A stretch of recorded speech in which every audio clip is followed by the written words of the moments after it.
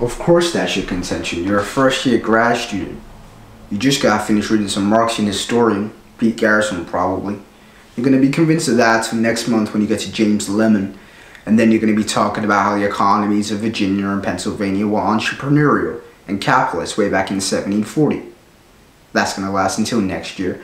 And then you're going to be in here regurgitating Gordon Wood, talking about, you know, the, the, the pre-revolutionary utopia and the capital forming effects of military mobilization. And let me take a guess. You're going to tell me that Wood drastically underestimates the impacts of social distinctions predicated upon wealth, especially inherited wealth? Yeah, you got that from Vickers. Work in Essex County, page 98, right? Mm-hmm. Yeah, I read that too. Were you going to plagiarize the whole thing for us, or do you have any thoughts of your own on this matter?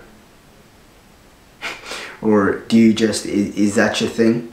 Is that your thing? You just come into a bar and you read some some obscure passage and then you know you pretend you point it off as as your own idea just to try and impress some girls and, and, and embarrass my friend. You see, the sad thing about a guy like you is that in 50 years, you're going to start doing some thinking of your own. And you're going to come up with the fact that there are two certainties in life. One, don't do that.